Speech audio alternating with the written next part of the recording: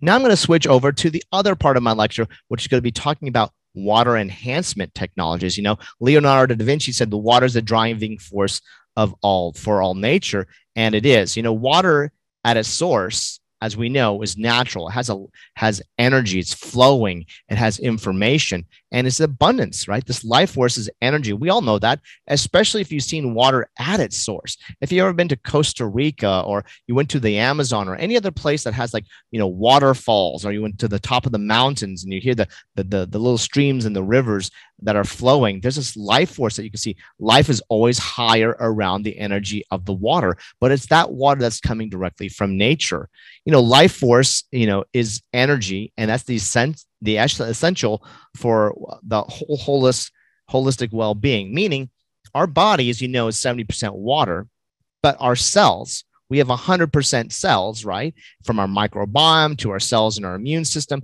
they all use the water. So even though yes we're 70% water all our cells use water and so the key is making sure that water is as optimum for our whole being and our total health.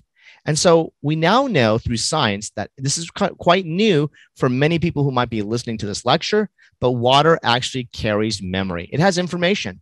And for those people who don't understand what I'm talking about, you can easily like Google Dr. Emoto uh, and look at you know all the documentaries and all the studies that have been published uh, before. And now that's gone even further into other fields of science. But water has an impression. Water can be imprint imprinted with information. Now, a lot of people are like, what is it? It's clear. It's a, it's a liquid. What do you mean by that? So go back and do the research because you'll see how impressive that we understand that water does have memory and it carries either good things in its from its environment or it carries bad things. And unfortunately, right now, water has an abused journey, right? The, especially the ocean right now, especially most of the, the natural uh, p- parts of water has this terrible abuse journey because there's tons of toxins, tons of waste, and the it continues even when it comes through the municipal how it even gets through through various pipes through various environmental aspects to even to get your home to your sink is also this continued abusive journey, but it's actually imprinting information into the water. Now, this long abused journey then is depleted of what we call the life force of energy, right? So a lot of us can like drink water and still feel not hydrated right? So a lot of us, like maybe a lot of people might say, hey, you know what, Dr. Pai, I'm moving towards a plant-based diet, or I'm already plant-based, or I'm an athlete, or uh, you know, I, I, am a performer, or I, I, work every day and I carry my bottle of water and I drink it, you know, I drink it, but I just don't feel hydrated. I still feel tired. I still feel dehydrated, even though I'm drinking the amount of ounces that they recommend me to do. And we have to understand that there's a life force that has been removed from the, the water itself. Now, the first problem with water in the United States and worldwide that is contaminated hundreds of chemicals, fertilizers, pesticides, prescription drugs, forever chemicals, you know, PUFAs and PUFOs. Right now, you can go to Environmental Working Group, like I mentioned it yesterday, but go to Environmental Working Group EWG, and then you type in water database on the search engine, and you put in your zip code, and you will see that they've independently tested the municipalities in your city. And you will see also how many contaminants there is. And you'll be surprised because most people think, well, gosh, you know, isn't the isn't my municipality filtering the water? Yeah, they're filtering the water. It doesn't have bacteria. It doesn't have E. coli. You're not going to get you know dysentery or or you know you know some salmonella from the water, but they're not taking out all the chemicals.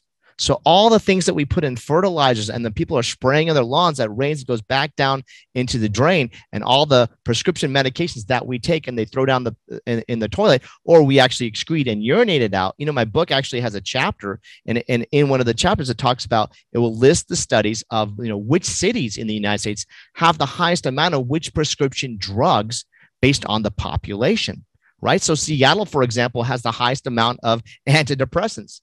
You know, that's why they created grunge and coffee, you know I'm saying? So, because it's cloudy, people had more depression in places that the sun is not always shining. You know, Las Vegas, as I mentioned before, highest amount of hormones in the water. Okay, that's a no-brainer. Um, New York has the highest amount of Xanax, which is an anti-anxiety medication, right? So the, the more people take this, the more actually they excrete out, the more actually comes back in the water. And unfortunately, everywhere in America, forever chemicals, right?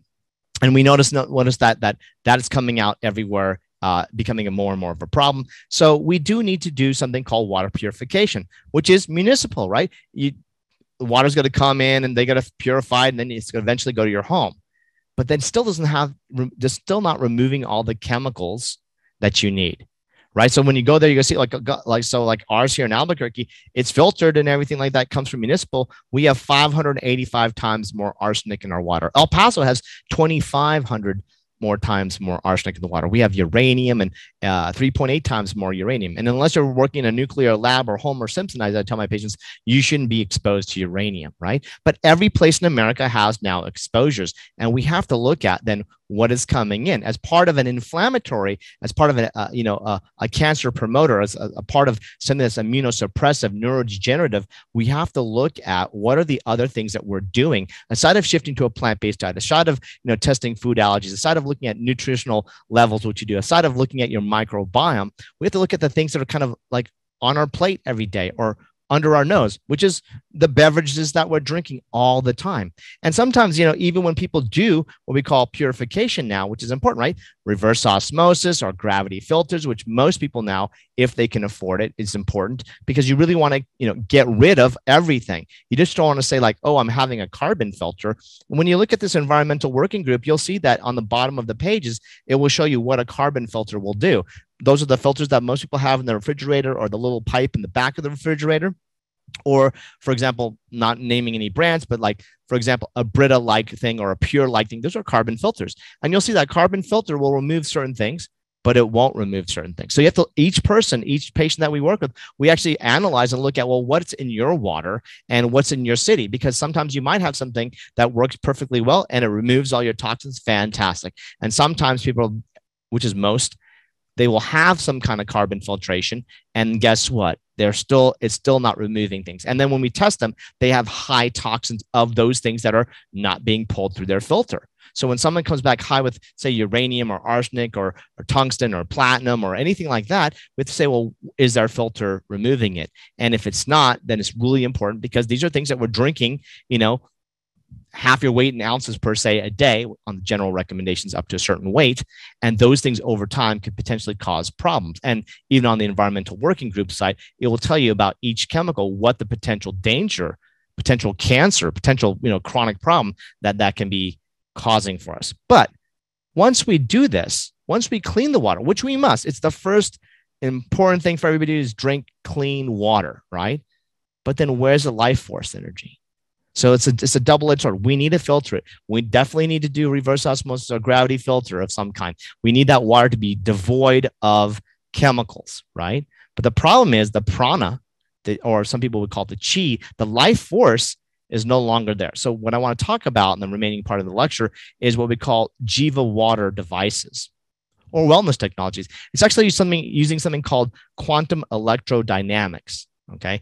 Uh, you can go to jivawater.com backslash rock doc to start learning more about this technology. But what they are, it's really simple. It's scientifically proven water structuring devices that does three things importantly. Number one, it removes trauma from the water. It's bad memory. It's kind of the, the misinformation that's been presented to the water. It actually increases the energetic levels of the water and it returns the water to its most natural, nourishing state. And there's different devices sizes based on the amount of flow and use that is needed.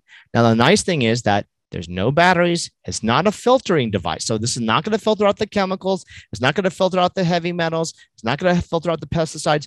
Those are things that, again, reverse osmosis or gravity filters are doing. This is after you've done that. We're now in the next stage called nutrification. That's the next step after purification. You have to purify your water. People need clean drinking water, number one. So don't get me wrong. But after you purify water, then we were, doing something called naturification. We're trying to now improve and enhance, which we now can do using the Jiva water devices. So there's a three stage process. It's proprietary. And I won't go into too much detail, but it will take the water, it will transform it, it will erase the trauma from it, it will then enhance the energetic force of the water and then it will make the water structured which is more energetic okay now for those who don't understand what i'm talking about again go to jivawater.com backslash rockdoc and there's a video there on nutrification so you actually can see what i'm talking about and these three stages of how that occurs with the device no filter no battery, no replacement. So you set it and you forget it. That's what I like about this kind of technology because it's something that it's not that I have to keep changing or I have to replace or somebody's got to keep, you know, giving me something. It's like, no, you put it in, it's going to do what it does and you're done. Now, has those size devices. We have four of them. And these are actually names of uh, important rivers in India. So this is just where where where the technology. In my book, I do mention briefly, you know, structured water and some of the scientists that I've been working with, Dr. Krishna Madhapal, for the last uh, 10, 15 years that I've known him. Uh, in the last six years, they've been taking these technologies. Then they went to further to do studies. They've patented the process of how they actually manufacture and produce these things. And now they've done hundreds of studies now in India, which is this is why we now use it over there. And now we're coming and bringing it here to the United States. We have a handheld called Yami, and that's what I use. So after I filter, we have a reverse osmosis in our home. Uh, we also have a gravity filter in our office. Um, and so once it comes out of the, the either or that's already purified, then we just run it through the handheld Yami. And then it also does all the nutrification and, and structuring to the water. This actually is a photo of uh, the, the Vipassa that I have in my house. It's a little bit of a large device and it's a two inch opening. And this is what most people will put in their home or their office building. Um, so the water after, you know, again, we have a home house filter to take out all the iron. We have high iron where I live, and you know, and, and take out the chlorine and some of these other uh, other chemicals and prescription drugs after before it goes into the rest of my house and to before it goes into the rest of my shower or my laundry and all the stuff like that. We actually have it go through this device. And more importantly, where the cool aspect is for those people who are like, you know what, uh, you know, I'm good. I have a filtration in my my house, but I love plant based foods. I love agriculture. I grow my garden. I grow my vegetables and all. We'll show you in a minute. This is where the, the action is because in India, why we're doing so much studies in India, because right now, as you all know, with climate change that's happening, there is a worldwide problem with water and drought. We can't use more chemicals. We don't want to be using more chemicals, and but we need higher increasing of yield of what we do grow with the limited amount of water. And in India, since we have so many farms and these things that are major problems, it's easier for us to implement studies showing one side of a farm using a, a water going through a Jiva device and one side of the other farm same same farmer too, by the way, uh, showing uh, no Jiva water device and seeing the differences. Now, for people and their pets, you know, boosting hydration, boosting immunity, uh, enhances blood oxygen levels, which now we actually able to show um, uh, helps with detoxification, right? And actually, you know, you get that hydrated feeling, which is interesting. Like you drink it, you feel you feel hydrated it's, it's a weird concept, but a lot of people like they're drinking stagnant water. And after a period of time, people feel like, you know, I'm less fatigued, I'm less tired. It's not drinking more water, it's just drinking the water that now has been enhanced. Okay, so these are the options for you that will benefit you and also the pets. So, you know, even our dog Princess Winnie, as most of you know or have seen on our website or have come visit us in our in our in our clinic, who's you know, who lives with us now for 12 years, comes to work every day loyally, faithfully seeing our patients. She gets Jiva water as well. So it's, it's very interesting because you can just run everything through the, the device. Again, no filter, no batteries, no replacement. It's stainless steel, fantastic. Now the benefits for farming. So so again, if people are like, well, you know what, I want to see something. I feel something, obviously, but I want to see something. Why grow my vegetables? We're talking about plant based nutrition. You know, you just had a couple of doctors talking about raw foods and growing foods and having sprouts and stuff. So now the cool thing is because that's the thing that people will see, right? People want to see something, you know, just like when we do PMA, it sometimes may take some time to get cellular activation to occur so that people notice that, oh my God, I am having less inflammation. I have more, uh, more energy. I sleep better. I have, you know, my, my neuropathy takes a little while to improve, but it does improve. But when you see things like from farming, it's very cut and dry. You can easily see this side, this plant, not this plant, and it's easy to see. But what we see is that improves plant immunity. So we can see now with plants that are treated with Jiva water, they have less disease. And in India, we have a lot of problems. Again, that's why they use a lot of chemicals because of disease, right? There's a lot of these kind of plant diseases that go around in nature. And also with the drought, we can see better moisture retention in the soil that actually the Jiva water is used, the water actually, the soil retention is higher. It actually stays moist for a longer period of time, stimulates root development. There's less chemicals that we need. It revives the natural soil biome. And what we want to do in the future, which is something that is going to be one of my personal studies, is that since we do microbiome studies in patients, we want to start seeing in patients that are using Jiva water how that also affects our own microbiome in addition to just the soil microbiome that we can test. Now, faster growth cycles we see, more importantly, increasing yield. And what my favorite thing is, aside of increasing yield, which is a production aspect, is also higher nutrific or nutri- nutrition values. Now we know life force, right? We all understand it. We t- we taste foods. That's what we're trying to tell people to eat more whole plant foods, right? Whole food, plant based diet, for example. And we do know that eating sprouts and eating greens and eating live foods has a higher energetic value. We can actually study these things. We can actually measure the photons, the energetic, you know, uh, you know, kind of um, expansiveness that's occurring from different technologies. And you know, here's an animal protein here, and here's plant foods, right? So that's why you know people feel better. That's why it's an anti-inflammatory diet. That's why fresh live foods. And we now know that when we process it, a little bit damaging, we still need to heat foods. We're not talking about just eating raw. We're talking about we did invent fire for a reason, but getting the whole foods in general, you still have this higher life force energy. But when we overcook things like microwaving it or high industrial processing, ultra processed foods, it's even worse. There's no life force or energy. So simply, they've done studies, and I've only picked a few here. And when you go to uh, sanjevani.net and sign up, we'll do multiple webinars in the future with the scientists, with the farmers, and we'll talk to them as well. And we'll talk to everybody involved in these projects because we really want to show that these are things that we can help with improving not only our food, our food production, but our overall environmental sustainability. When we looked at here with hydroponic spinach, okay, producing the same. You know, as you can see, they're all hydroponic. So some some sunsets again, same amount of roots, same amount of seeds. They water it the same. So it's all calculated. By the way, it's all kind of systematized uh, me- mechanically. You know, the the spinach, you know, gave a certain amount of weight, you know, per per crop of of, of growth.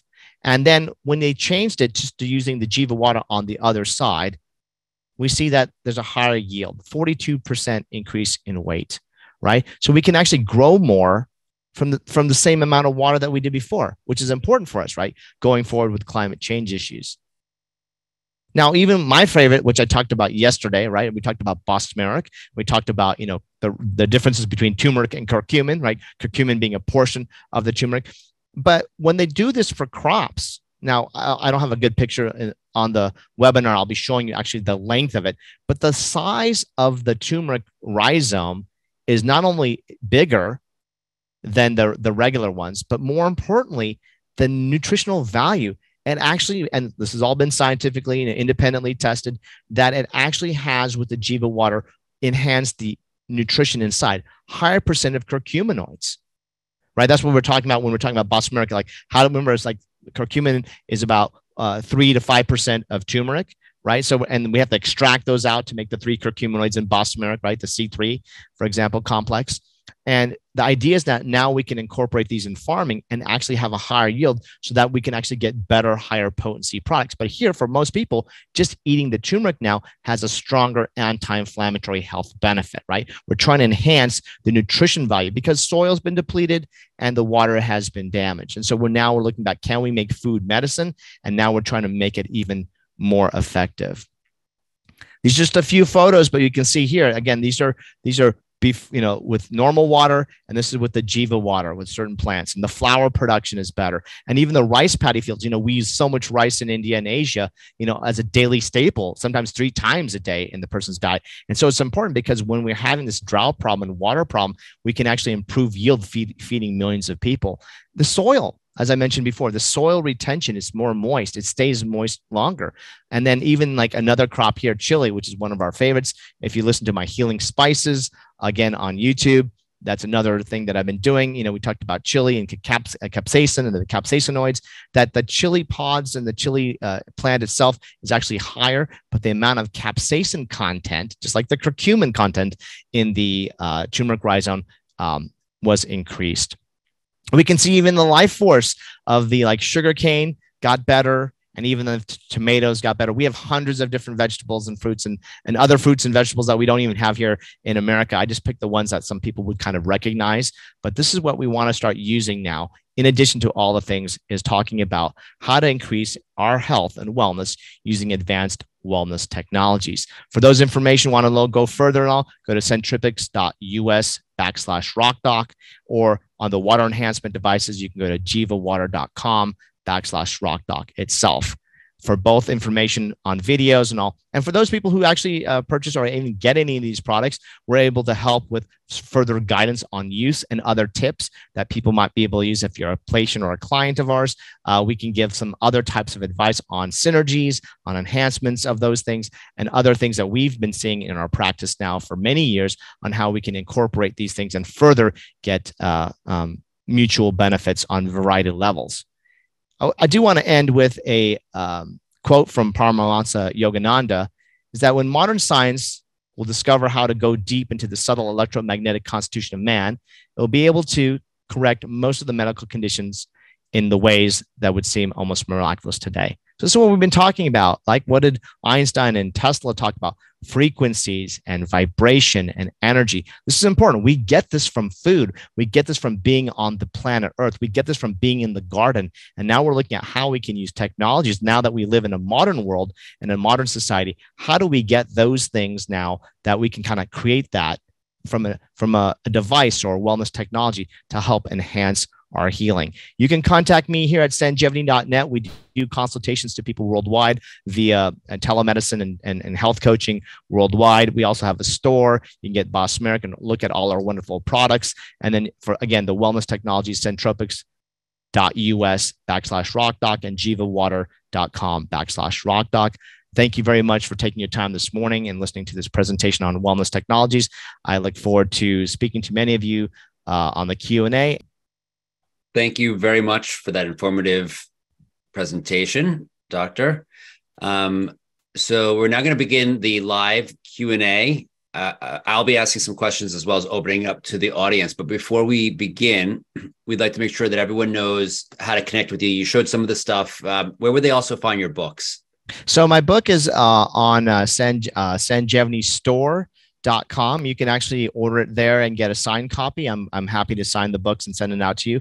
Also, um, you can get it on Amazon if you like to purchase things on Amazon. I prefer people to buy it from me, then I can sign it. And then, you know, we're bypassing Mr. Bezos. But either way, also it's on Audible. So those people who like to listen to uh, Audible books. It's professionally read. It's about 14 hours. So it's a it's a big book. So it's about 450 pages with thousand references, evidence based information on the 10 definitive steps how to prevent, reverse, and treat disease through diet, lifestyle, and the use of natural anti-inflammatories. And so yeah, you can get it on our, our store, sanjevanistore.com, uh, Amazon, or Audible. Thanks for sharing that. We'll now begin our Q&A session. We'll be asking questions uh, of you, Doctor. Um, uh, our, we're also going to open it up to our audience. Uh, we first just want to explain to everyone how this works. We don't take questions directly from the chat. Instead, we ask everyone to virtually raise their hand. If you're not sure how to do this, what you need to do is click on the reactions button, second from the right at the bottom of your Zoom window, then click on the raise hand function in the menu that pops up.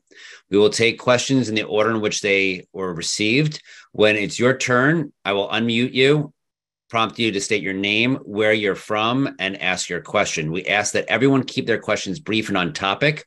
We will then mute you. In order to give everyone a chance to get their question answered, we won't take follow up questions. However, if there's time, you can just raise your hand again, and if we can get to you, then we can we can do it that way. So um, let's see here. We have a question here from Bin. Bin, please state your name, where you're from, and state your question. Um, my my first name, my Bin Wu. I'm from the Maryland in America here. So um, my question is, um, I know water is so important. The human body is made by water. Seventy percent is water. But uh, how do you uh, how do you um, do you have any evidence that your water is works for the patient to decrease the infl- inflammation? Uh, do, do you have data? Um, you know, so so on, on on a clinical trial or a study, absolutely not right now at this time. But we do have uh, uh, hundreds and uh, hundreds of testimonials from patients and customers who have used the device. Uh, it is one thing, you know, we want to look at is that you know you can always try something and see it for yourself. You know, like be a scientist. I'm a scientist myself, so I use all the things. Anything that I mentioned in my book, anything that I mentioned as a lifestyle recommendation to my my clients, I use myself. Now, some things like water enhancement, uh, some people are like, well, how does that work? Right? The same thing with the PMA. Like some people like, well, you know, where's the studies? Now, some things we have more studies on, and so that's why it's easier to do, say, uh, agriculture studies or, or uh, studies on on or getting a testimonial. But we are moving into the level of, you know, what I want to look at is even microbiome, as I mentioned before, microbiome changes because you know the water is everything, and we now know that you know dead water. You know, most people like if you ever been to Costa Rica, I was recently in Costa Rica a couple years ago and the ionization of the water just coming in a rainforest that high density of life force that's why like there was more nutrient uh, animal density more plant density in the places where the actually lo- the water is actually the highest. So we're trying to look at technologies that can actually mimic that and produce that because we don't live in a natural environment. You live in Maryland. I live in Albuquerque, right? It is what it is. But it is something that I would I would I'd, I'd implore you to say, well, why don't you try it yourself? See what you feel, see what you notice, and then see what you notice on your family, your friends, or your customers, or clients, or your patients. Okay, thank you for that answer, doctor.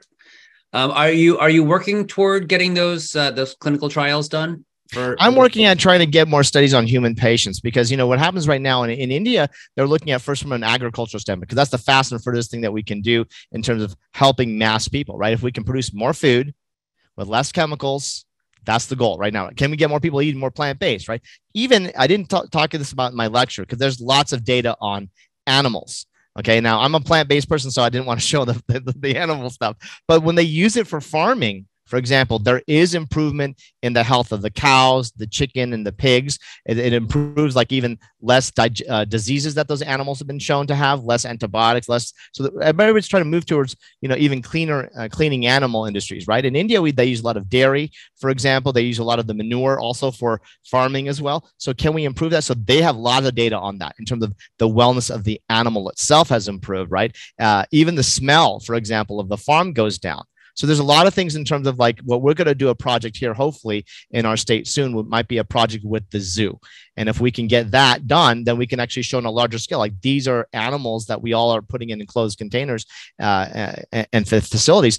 We need to make it like they are in nature. Otherwise, that's why they have higher rates of diseases. And now we know, at least in India, in the farms, that that's what they're using it for. So it's decreasing the amount of disease, improving the animal's health. Now, can I do that on human patients? It's not as easy, right? It's easy to do it on a farm because you have thousands of animals you can put something. Here we'd have to do it individually in some people's homes, but we would want to move towards where we have, you know, data on like here's 20 people before and after, or here's 20 people that don't have the device with the same similar, you know, matching conditions. But there's a time and an effort for that. Right now, it's easier to do it in the animal world and the agricultural world.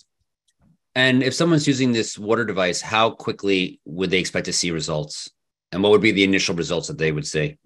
So, you know, for most people, again, it's, it's like anything else. It takes a little bit of time. I, I give it, a, I give it at least a week to start people start noticing other benefits, you know, because your body doesn't just change overnight, right? So even if you eat plant-based, whole food plant-based, took America, you know, it's still a change, right? There's a cellular activation of change. And even your hemoglobin A1C is a three-month life cycle of a red blood cell right? So I always tell people, you know, give it three months because that's when everything starts to change because we're changing, you know, your cells are always dividing. Everybody wants on and off shows. The problem with America right now is instant gratification. Everybody wants, nobody wants to put an effort, right? They just want to turn it on. And that's where the PMEA device, right? The cloud is kind of helpful because you're kind of turning it on for 15 minutes. It's lasting for 12 hours. You're getting that benefit. But when it comes to diet and other things, even just regular hydration, it still takes some time, right? To people to get there, but you'll notice those other benefits. What I always tell people is like, just do before and after. Here's your blood pressures before. Here's your other studies before.